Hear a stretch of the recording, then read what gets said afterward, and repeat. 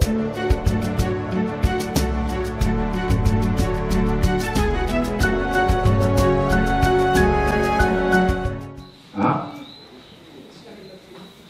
la, fin de doctrine Qu'est-ce que la doctrine C'est ça la, question? Ouais. Ouais. C'est quoi la doctrine à ton avis? Ah, D'accord. Les règles? Doctrine, euh, ouais, la doctrine c'est simplement l'enseignement de Christ. Enfin, l'enseignement, voilà. On trouve bien sûr des règles, tout ça. Il y a d'autres questions Oui, prêt.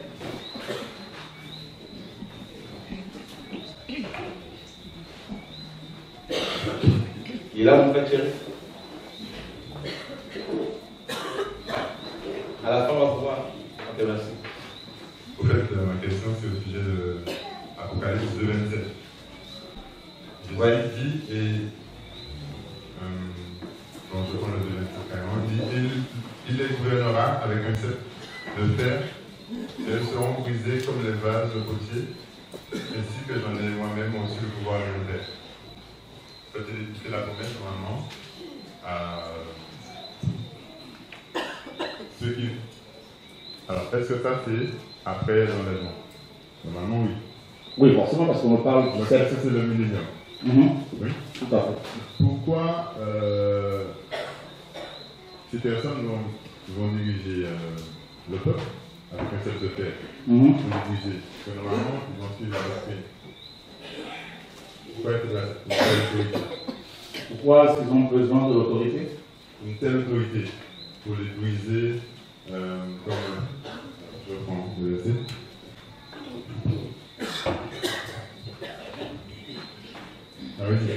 Et il gouvernera avec un set de fer, un de fer, elles seront brisées comme les vases de potier, ainsi que j'en ai moi-même reçu le pouvoir de mon Père. Pourquoi, euh, puisque tout le monde va suivre la doctrine, va obéir, puisqu'il n'y aura plus le péché. D'accord, ok. En fait, il faut, justement, c'est bien, c'est une très bonne question. Et euh, il faut, comme on leur enseigne euh, souvent, le, si tu sors un passage biblique de tout le contexte des Écritures, tu vas créer une doctrine euh, étrangère à l'enseignement de Paul, Pierre, Jacques, Jean, du Seigneur. Et euh, là, il est question du, de- du millénium, effectivement. Mais avant que ce royaume ne soit établi sur terre, il va y avoir le jugement des nations. N'est-ce pas? Et euh, il est dit dans euh, 1 Corinthiens 6 que nous, les saints, nous allons juger le monde. Et dans Apocalypse 20, il est dit qu'après la résurrection et euh, après le retour du Seigneur euh, physique, il va y avoir des trônes qui seront établis et on va juger. Donc, euh, donc là, je descends le bâton de commando. Voilà. C'est pour que là, on nous dit que ben, ce sont des, re- les rebelles en fait qui vont être brisés comme ça. Voilà. Donc on va juger les nations. Et les douze apôtres vont juger les douze tribus d'Israël. Voilà.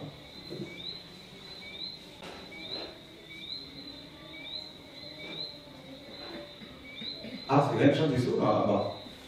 Ailleurs. Ah bon?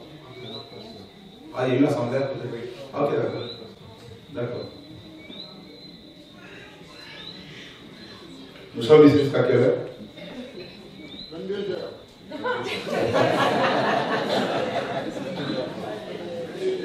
21h, hein Il est quelle heure?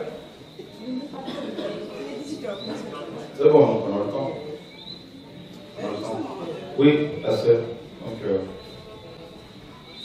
Est-ce que vous voulez bien éteindre vos portables si vous pouvez vous le mettre sur euh, mode avion pour éviter tous ces éléments Bonsoir. Bonsoir. Par rapport au- Par rapport au pays. Hier, on parlait du blé, en fait. Avant-hier, oui. Et euh, étant du blé, est-ce que ça veut dire que, en fait, est-ce qu'on peut perdre notre salut? Et euh, très bonne question.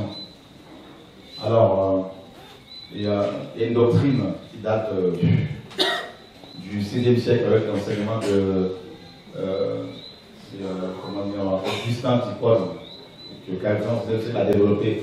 Euh, notre doctrine veut que enseigne, enseigne la double prédestination. Il y a des personnes qui sont prédestinées à l'enfer, euh, à la damnation, et d'autres au salut.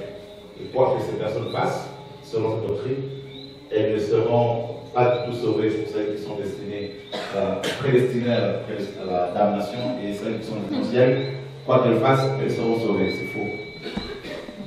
Et euh, oui, on peut perdre le salut.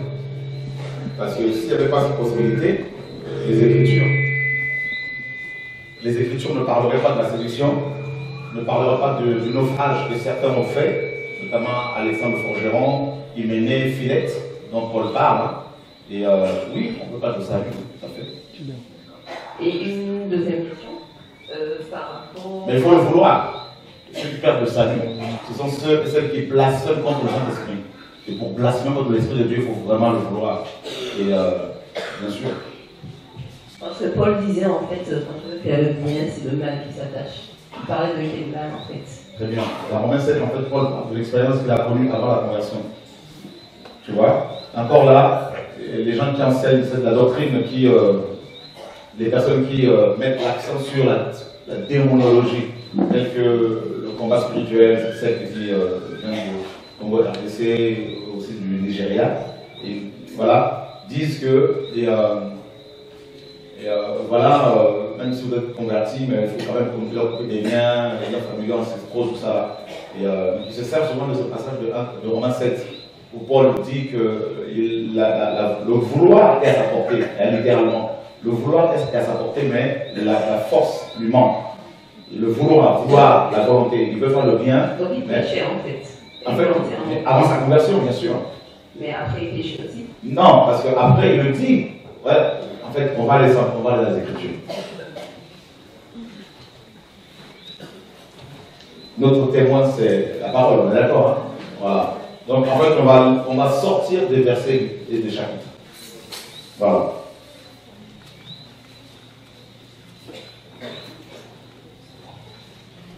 Donc, Romains chapitre 7. Ma soeur, est-ce que tu peux nous lire, s'il te plaît, le verset 24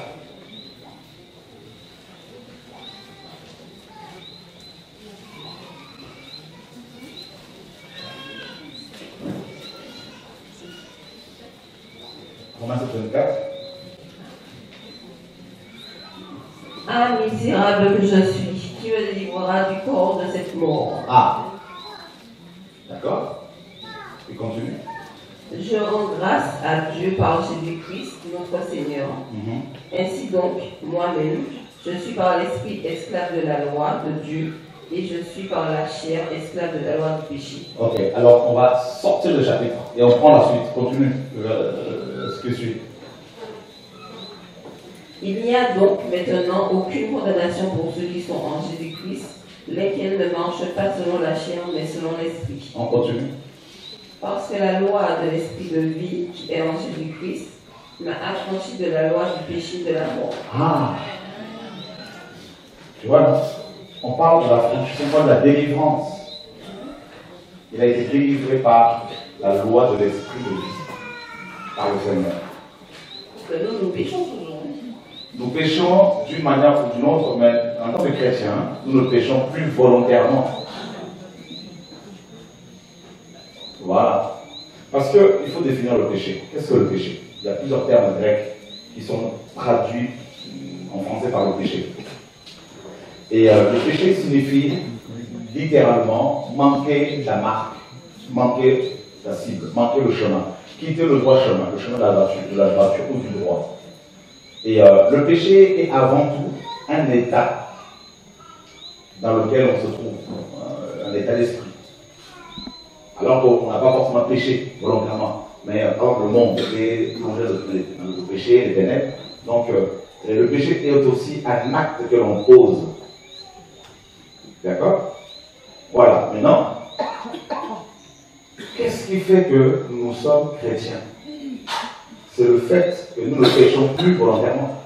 Que nous ne pratiquons pas le péché. Tu vois? Et un jour, Paul nous dit celui qui est né de Dieu ne vit pas ou ne pratique pas le péché. tous les péchés involontaires sont effacés. Tous nos péchés, volontaires et involontaires, conscients ou inconscients, sont euh, effacés. Maintenant, quand nous recevons la vie de Dieu, cette vie en nous n'aime pas le péché.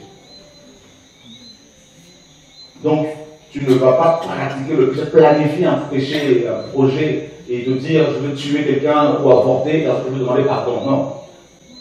Tu vois? Voilà, parce que nous avons, nous sommes régénérés. Mais quand je fais quelque chose de mal, par exemple, est-ce que. Comme quoi? Ça dépend. Ah, par exemple, je sais pas, il m'arrive, je sais pas. C'est-à-dire mentir, se mentir, c'est mentir volontairement. Pas forcément. Non, mais ça, ça paraît trop facile, mais je sais pas, on s'énerve, on. Le- le- La colère n'est pas un péché en soi. Ce sont les actes que l'on peut poser après. Dieu se met en colère. Tout comme la jalousie n'est pas un péché. Après, ça dépend, parce qu'après, ce sont des actes que, l'on pose après. Mais euh, voilà, effectivement, si tu te mets en colère, tu vas insulter les gens, voilà, c'est pas bien. Mais euh, de là, très souvent, quand on va se mettre en colère, c'est pas parce qu'on va, on va pas planifier la colère et euh, tout ça. C'est quelque chose qui nous tombe dessus d'un seul coup comme ça, et on s'énerve, tout ça, on crie et ça va arriver. On Voilà. efface les parle de ça en fait. Voilà. Mais déjà, il a effacé déjà le péché d'Adam et Ève. Le péché naturel, le péché, euh, voilà, que nous, comme les enfants, ils sont tous pécheurs, nous naissons pécheurs. Nous sommes conçus dans le péché. Nous naissons dans le péché, nous grandissons dans le péché. Voilà. D'accord. Dernière petite question par rapport à Juge 16. En fait, Samson, comme Dieu est contre le suicide, et en fait, il a demandé à Dieu de lui accorder une dernière grâce, et Dieu a accordé Ok. à Samson, ouais. et il s'est tué en fait.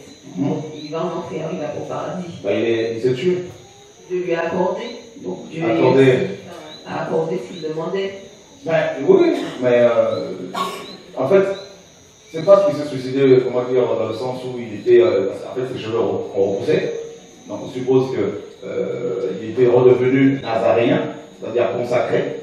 Et d'ailleurs, quand l'ange a été envoyé, l'ange de Yahweh, quand il a parlé à Manoach et euh, tout ça, et à sa femme, il leur a bien dit que cet enfant allait être euh, un nazaréen, nazaréen, c'est-à-dire un consacré.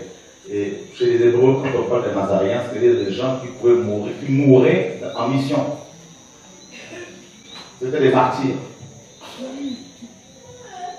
C'est ça. Il savait qu'il allait mourir En fait, c'était ça sa mission.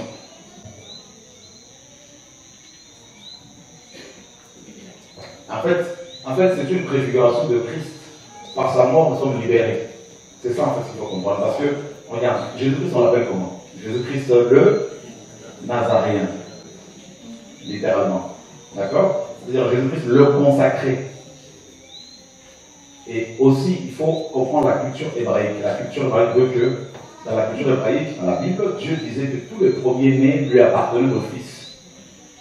Et Samson étant le premier-né, en plus de cela, nazaréen, et il, allait, il devait mourir pour libérer les autres. Voilà. Consacré. C'est-à-dire, voilà, il devait finir comme ça. C'est ça. Donc, c'était pas un suicide. C'était sa mission.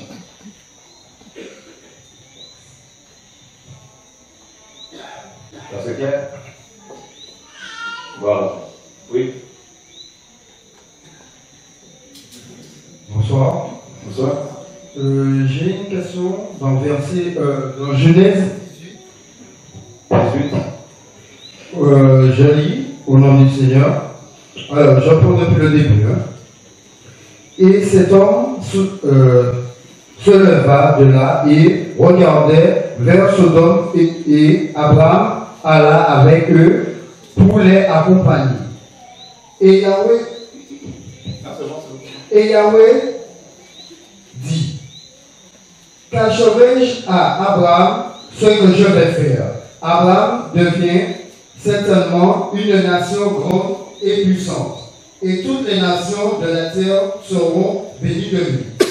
Ma question est, quand euh, là, euh, au verset 17, il dit, et Yahweh dit, à qui que Dieu parlait? Est-ce que c'est à Abraham ou il se posait une question? Ça se relate un peu, un peu ce qui s'est passé. Donc, euh, oui, il se parle à lui-même déjà, parce qu'il dit cacherai Donc, euh, oui, il parle à lui-même. Ma deuxième question est euh, Martin Luther King et Calvin et George Wesley, quand ils ont fait la réforme. Ah, Martin Luther, pas Martin Luther. Excusez, merci. moi Martin et euh, Calvin et George Wesley, est-ce que quand ils ont fait euh, la réforme, est-ce qu'ils étaient conduits par le Saint-Esprit ou euh, ils étaient oppressés par. Euh... Ouais, je pense que Dieu les a utilisés. Wesley, John Wesley n'était pas un réformateur. C'était un homme de réveil, mais il n'a pas apporté la réforme. Voilà, plutôt Martin Luther et, euh, puis euh, Jean Calvin, euh, Olivier Tan, Guillaume Farel avant, avant lui. Avant eux.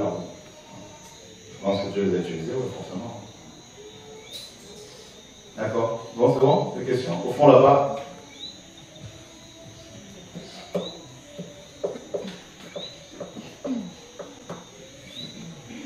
Ah. Bonsoir. Oui, bonsoir. Donc, alors, ma question, c'est sur Proverbe 26. Proverbe 26. C'est ça. Mhm. Donc, il est dit Ne réponds pas à l'essentiel selon sa folie de peur que tu ressembles toi-même. Réponds à l'essentiel selon sa folie, de peur qu'il ne s'estime être sage. Euh, au premier coup, il nous demande de ne pas répondre à l'essentiel, et par-dessus, de répondre à l'essentiel, donc je n'arrive pas à se dire. Euh, c'est ça. On se dit, c'est bizarre, euh, a une contradiction. Mais en fait, ici, celui qui parle, c'est un sage. Et quand on a, et quand, quand on a affaire à un sage, il faut être très prudent pour ne pas devenir fou. Hein, à cause de la connaissance. Parce que c'est, En fait, ici, le Seigneur veut simplement nous faire comprendre qu'à chaque. Il y a une, une stratégie hein, pour chaque situation, pour chaque guerre, pour chaque euh, problème posé. Par exemple. Et euh, tu demandes au Seigneur, voilà, Seigneur, je prie pour mon pays, la Martinique, je voudrais vraiment que les gens soient sauvés. Et le Seigneur va te dire, écoute, euh, euh, je veux que tu restes sur, euh, que tu ailles prier euh, sur tes carrefours. Hein. Va à tel endroit et va prier là-bas. Pendant deux heures, reste à, jeun pendant toute la journée, va prier D'accord? Là, tu vas prier, prier, prier, prier, prier. Et le lendemain, tu, tu, tu, dis au Seigneur, oui, les gens sont sauvés, gloire à Dieu. J'aimerais prier pour la Guadeloupe cette fois-ci, pour que cette nation soit sauvée, cette île. Et maintenant, au lieu d'attendre la stratégie du Seigneur, tu te dis, bon, la première stratégie, c'est j'en fais une doctrine, hein, donc c'est la bonne, et tu refais la même chose, et là, pas de résultat. En fait, il faut se laisser guider par l'esprit. Regarde, tu as affaire à un fou, un fou euh, euh, qui t'insulte. Et Dieu sait que pour gagner ce fou, il faut se comporter comme, lui. N'est-ce pas? Voilà. Il te fait ça, donc tu fais ça. Et là, le fou va être gagné au Seigneur. Il y a un deuxième fou qui arrive, il te fait ça, Dieu dit non, non, ne sois pas comme le premier, parce que le premier devait être gagné comme ça. Mais pour le deuxième, ben, il faut simplement que tu cours. Sauve-toi. Et si tu obéis, ben, tu vas voir que ça va marcher. En fait, en gros, on doit se laisser guider par le Seigneur. Voilà. C'est lui qui nous donne des stratégies, la manière de fonctionner avec les uns les autres. Voilà. J'ai une question mm -hmm. au sujet de. Tu as déjà posé une question, non? Il y a déjà 4 minutes après. Donc, euh, merci. Mais là-bas, il y a des gens qui sont pénalisés. Voilà. Il faut qu'on soit juste. Merci. Là-bas. Là-bas. S'il te plaît.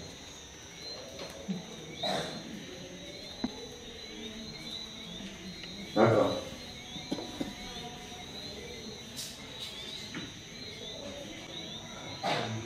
Bonsoir. Alors,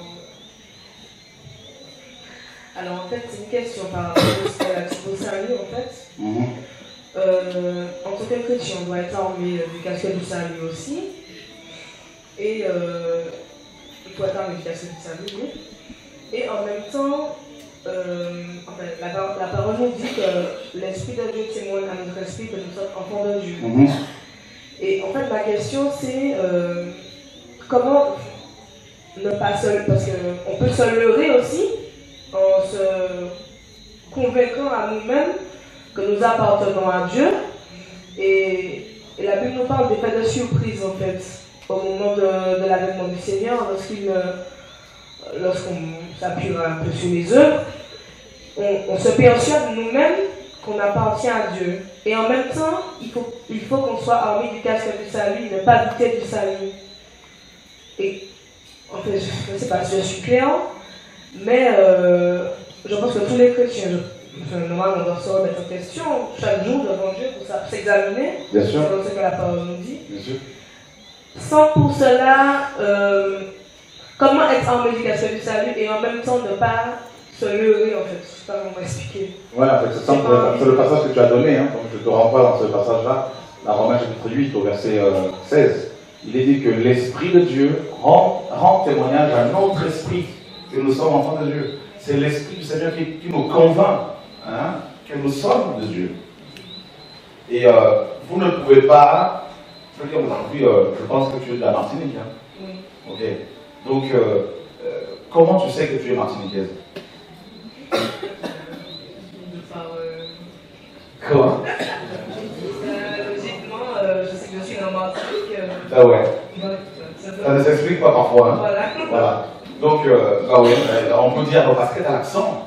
Parce que bah, as tu manges comme eux, tu parles comme eux, tu t'habilles comme eux, tu fais tout comme eux et, et tu suis les règles du, du pays. Tout ça. Et euh, parce que surtout, par-dessus tout, parce que bah, tu, as, euh, tu es gouverné par le même préfet, hein, les mêmes autorités que tous les, autres. Tu es soumise aux autorités qui sont établies. Voilà.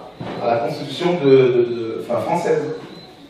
Voilà. Donc, eh ben, par rapport à nous, hein, pareil, nous chrétiens, nous sommes soumis à l'autorité gouvernementale de notre royaume, royal de notre royaume, Yeshua, Seigneur. Et, et son esprit nous convainc que nous sommes enfants de Dieu. Il n'y a pas besoin d'avoir une carte de membre. Hein, comme les églises le font aujourd'hui avec ta photo, tout ça, et avec des endroits où on met les cachets pour payer la, récupérer la dîme. Tac, il a payé ce mois-ci. Tac, il a le mois de juin, juillet, il a payé. Non, ça, euh, non, on le sait. Voilà. Et ensuite, euh, moi j'entends des chrétiens qui disent Bon, euh, le matin, Seigneur, je me réveille, je vais porter mon, armure, tout ça. Ça veut dire que tu dois remettre ton armure de à côté. Là. Voilà.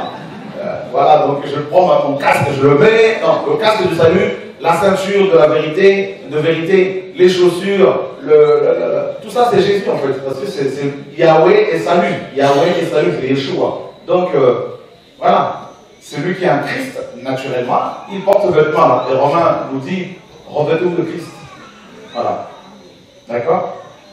On le sait. Je ne peux pas te dire que tu es enfant de Dieu, c'est Dieu qui le dira. Moi, je peux le constater par rapport aux fruits que tu portes. Car on reconnaît un arbre à ses fruits. Amen. Et non par le fait de payer la dîme. Vous êtes fidèle à son assemblée. Hein? hein?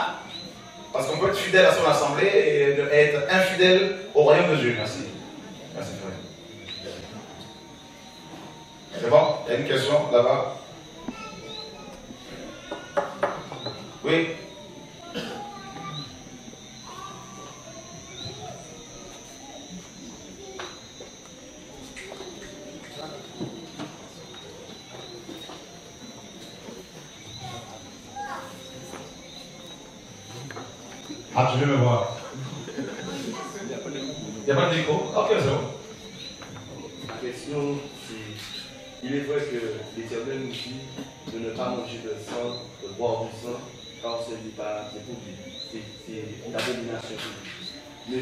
voudrais savoir, pour être clair dans ma question, c'est que, est-ce que par exemple, étant donné que je suis chrétien, j'ai attrapé une maladie, et la seule chose qui peut me sauver, c'est le sang. Est-ce que je peux recevoir ce sang pour être sauvé? D'accord. C'est ça ma question. C'est ma question. Jean, chapitre 15, le verset 13. Jean chapitre 15, verset 13, je, vous, je le lis pour vous. Personne n'a de plus grand amour que celui qui donne sa vie pour ses amis. Personne n'a de plus grand amour que celui qui donne sa vie pour ses amis. Merci. Il est question ici de donner sa vie. Alors, on va définir la vie. Qu'est-ce que la vie? Ben, Lévitique 17, 11 nous dit la vie, c'est le, le sang, le sang, c'est la vie, l'âme. Donc, ça veut dire que, euh, voilà, il faut aimer comme Dieu a aimé. Marie, aimez vos femmes comme Christ a aimé l'Église et il donné, c'est-à-dire a donné son, sa, sa vie, son sang pour nous. D'accord? Et ils l'ont vaincu à cause du sang de l'agneau. Voilà. Donc, et euh, donc on peut recevoir le sang de quelqu'un, mais il faut prier dessus. D'accord? On peut même recevoir les organes, ça c'est pas un problème. Dieu pour le sauver nous a donné son sang, c'est écrit, Acte 20, 28, Paul dit, et, euh, et euh, veillez, n'est-ce pas, sur le troupeau, hein, sur l'église du Seigneur, l'église qu'il a acquise par son propre sang. Ah bah oui. Voilà, donc, euh, oui, il n'y a pas de souci. Donc, vous pouvez recevoir du sang, euh, vous voyez votre, votre enfant en train de mourir, ça, vous ne pouvez pas le restaurer parce que vous ne pouvez pas donner votre sang parce que vous n'avez pas compris la parole du Seigneur. Vous pouvez être sauvé, vous avez fait quoi? Le Seigneur a dit quoi dans Celui qui ne boira de mon sang n'aura pas la vie. Il ne s'est pas arrêté au breuvage. Hein. Il, est allé encore plus loin, il a dit il faut manger ma chair.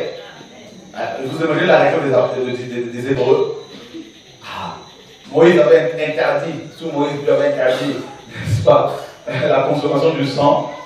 Et là, le Seigneur vient et dit, d'animaux, hein. Et là, lui, il vient et dit, buvez mon sang. Ouh là là, Dieu conçoit des cannibales, hein, on conçoit des zombies, là, des, comment, comment ben vampires. Donc ça, il n'y a pas de problème. C'est bon? Pour les questions, c'est fini? Ok, l'auditoire arrive, pas de problème, la sœur. Est-ce qu'on a le droit de se faire incinérer? Ouais, euh, est-ce que vous avez le droit de vous faire incinérer? Bon, euh, écoutez, si vous êtes dans un pays où il n'y a pas assez de terre, donc moi je n'ai pas de problème en cela. Alors les religieux diront, oh non, non, non, non, non, surtout pas parce que vous savez, euh, Dieu ne pourra pas après à la résurrection vous retrouver. Mais leur Dieu n'est pas assez puissant pour. voilà, arrêtez-moi ça. Et les chrétiens qui ont été brûlés vifs, hein, à pièce, au premier siècle. Hein, au deuxième siècle, comment il va faire alors? À 85 ans, il était brûlé vif. Et les chrétiens qui sont brûlés vifs dans les pays musulmans, certains pays musulmans, ils font comment? Voilà. Donc, euh, vous inquiétez pas. Maintenant, le corps, c'est plus un peu. Oui Si on sait déjà. Comment? Si on le sait déjà. C'est-à-dire Si on a la parole déjà. Oui. Est-ce qu'on a le droit de, de, de, de faire, de, de Parce que la parole de lui, bon ben, tes poussières, tu retournes dans la poussière. Oui. Ok, d'accord, mon frère, pas de souci. Mais regarde, tu prends euh, une barque là. Ta barque chavire, tu tombes dans l'eau. On fait comment? Les poissons viennent, ils mangent ton corps. Ça veut dire Ah Apocalypse. Oui. Il nous dit que la mer, la mer va remettre tout ce qu'il a. Bah oui. Bah bien sûr. Ceux qui sont incinérés, par contre, on va répondre la cendre. Hein, tout ça là, c'est la cendre après, la, la poussière, c'est la même chose. Voilà. Il ne faut pas qu'on soit religieux. Le frère parlait tout à l'heure de la religion. On a mal à interpréter les écritures. les écritures. Quand Dieu dit tu es poussière, tu retournes à la poussière, il veut dire littéralement tu vas mourir. C'est tout. Tu comprends? Donc, euh, parce qu'il y a des gens qui meurent, d'ailleurs, chez les Hébreux, pour votre information, quand Jésus-Christ a été enterré, il a été enterré Sous terre on mettait dans les grottes Dans les grottes. Il y a des catacombes, n'est-ce pas? Des galeries souterraines, tout ça, c'était des endroits où on, on mettait les corps là-dedans. On n'enterrait pas comme nous avec. Euh, non, c'est c'est une, question de la religion. On est tellement religieux que, là, comme je disais, à cause de la religion, on a, été, on a amoindri Dieu. Par la religion. Non, je veux dire, le point c'est que l'interprétation de la parole, on interprète comment? Parce qu'on a des lunettes dénominationnelles. je te pose une question. Et euh, tu peux venir faire mon frère, je vois que tu aimes la parole. S'il te plaît, viens, on va bien échanger. Viens s'il te plaît, viens, viens. Alléluia. Viens me voir, je l'aime beaucoup, ce frère. Michel ici. C'est toi, Michel, tu dois béni. Donc, euh, le Seigneur va te bénir le mariage. Le Seigneur a vu tes pleurs, tes larmes, ça va aller. Bon. Et euh, depuis tout à l'heure, il me dit Michel, Michel. Et euh, c'est la première fois que tu viens ici, ce soir? Ok. Tu crois que la dîme est encore applicable aujourd'hui ou pas? Est-ce que tu penses qu'il faut payer la dîme aujourd'hui? Voilà. Donc tu penses qu'il faut la payer? Selon le moyen qu'on sur le faire. Si on sait que Dieu nous a fait grâce, nous a béni, Mhm. c'est conscience. D'accord. Donc il faut la payer. Il y a des gens qui demandent. Oui, mais toi tu penses quoi? Moi, c'est une conception avec Dieu, bon, je sais que Dieu m'a béni. D'accord. Donc tu la, payes. m'a permis de rester pas malade. Ok. Je lui donne. D'accord, donc tu la dîme. Ok. Bon. Deuxièmement, et, euh, tu crois que Dieu est Trinité? Ce qui est le Père, le Fils et le Saint-Esprit. D'accord. Est-ce que tu prends la Trinité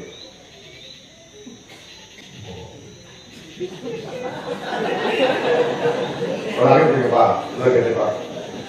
C'est pour nous aider tous. Est-ce que tu crois que la Trinité existe? Il a déjà vu ne croit pas, il a déjà vu croire. Et toi, tu veux que tu entends je crois. Toi, tu crois? Ok. Donc, tout à l'heure, je te disais qu'à cause de la religion, nous interprétons ce livre-là mal. Tu vois, non Et euh, est-ce que tu sais que dans ce livre, il n'y a pas un seul verset où il est question de la Trinité? Le mot Trinité n'est même pas là-dedans. Pourtant, c'est le, le fondement de la chrétienté d'aujourd'hui.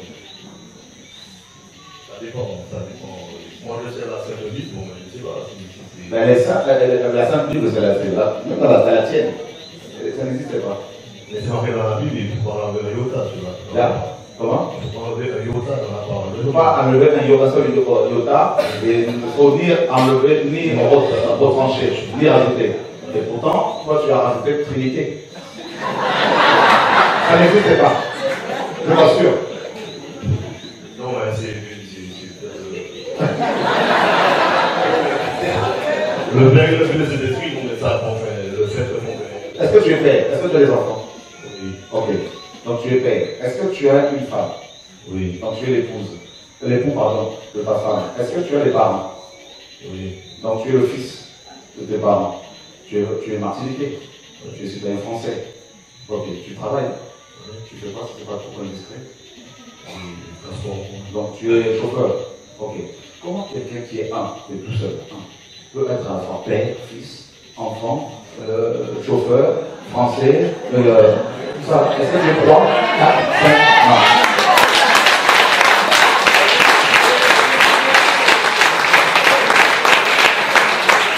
En fait, ce que je veux dire, c'est quoi? Ce que je veux dire, mon frère, ça fait plus de 30 ans que j'essaye de comprendre Dieu. Et euh, je m'aperçois que je découvre encore des choses il y a 30 ans, des choses qu'on m'avait fait croire être bibliques hein, il y a 30 ans, 31 ans, 32 ans. Je m'aperçois que c'est pas là-dedans, c'est pas écrit là-dedans.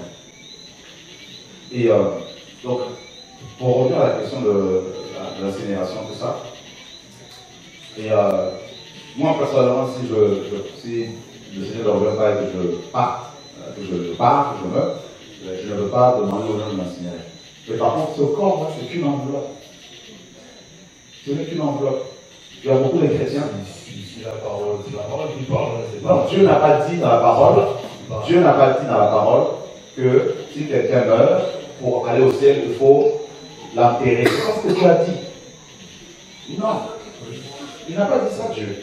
C'est une interprétation fausse. Parce qu'il y a beaucoup d'enfants de Dieu, il y a des pays où je suis allé, où il n'y a pas assez de terre. Les gens meurent et tout le monde là-bas on est incinéré parce qu'il n'y a, a pas de terre. On ne peut pas connaître ces gens. Pour moi, personnellement, si on connaît la parole de Dieu, dans la parole, si Dieu te dit quelque chose, parce que souvent, bien que Dieu nous dit, tout ce qu'on, lorsqu'on va les biens sur la terre, on confie là maintenant, tout ce que Dieu a dit, l'homme ne le fait pas. On fait le contraire de ce que Dieu dit. Bien sûr. Ouais. Il ne peut pas faire ça, on fait ça. Mais comme quand Dieu dans la Bible dit, il n'y a pas un autre Dieu près de lui. et que les trinitaires viennent et disent il y a trois dieux. Dieu le Père, Dieu le Fils et Dieu le Saint-Esprit. L'expression Dieu le Fils n'existe pas dans ce livre-là. Donc tu vois, sans te rendre compte, tu te condamnes toi-même. Tu dis oui, il ne faut pas rajouter. Pourquoi tu as rajouté? Euh, Retranché. Tu as retranché. Il ne faut pas rajouter, tu as rajouté. Parce que ta religion, tu l'as enseignée comme ça, comme moi on l'a enseigné comme ça. Je t'assure. Il y a des chrétiens, je connais beaucoup de chrétiens, qui disent, qui disaient comme toi, je ne veux pas être euh, incinéré, ok, c'est leur liberté, comme moi, chacun libre.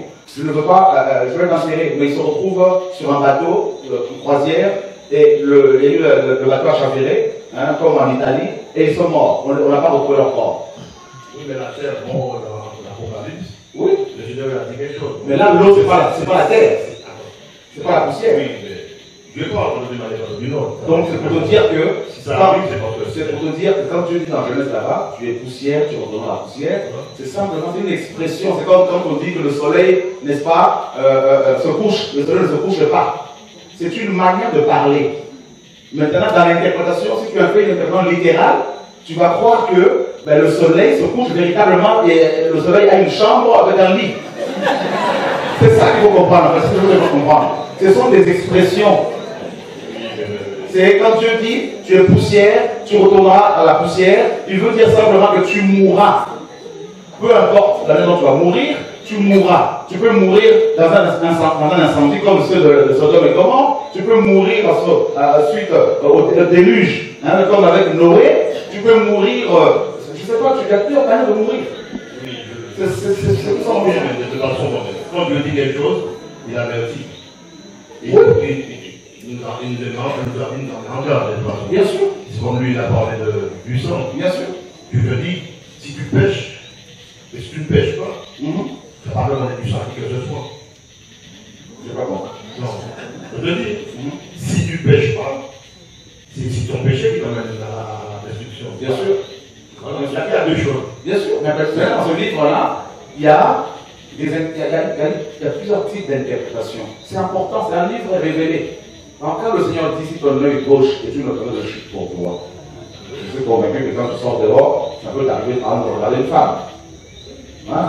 Voilà. Donc quand Dieu, dit maintenant ce œil-là qui convoite là, il faut l'arracher. Est-ce que toi on va prendre une cuillère pour l'arracher physiquement? Non. Ah. Donc c'est une expression. Là, on fait une interprétation, une image, on fait une interprétation allégorique. C'est pour dire simplement que tu dois détourner ton regard. Voilà, c'est tout. C'est ça. Tu es poussière, tu retournes la poussière. Ça veut dire simplement que tu la poussière est inanimée. La poussière, elle n'est pas vivante. N'est-ce pas? Donc, tu vas redevenir comme ça. Que ce soit dans l'eau, que ce soit dans l'espace, pour ceux qui sont morts dans l'espace là-bas, voilà, les astronautes que ce soit euh, ceux qui sont brûlés comme certains chrétiens, peu importe, en fait Dieu veut dire qu'on mourra. Voilà. Et il est assez puissant maintenant à la fin de ressusciter tout le monde. Voilà. Bien sûr. C'est que ça fait. Comment ton prénom Jean-Paul. Ah ben je, t'aime beaucoup mon prénom. Je te.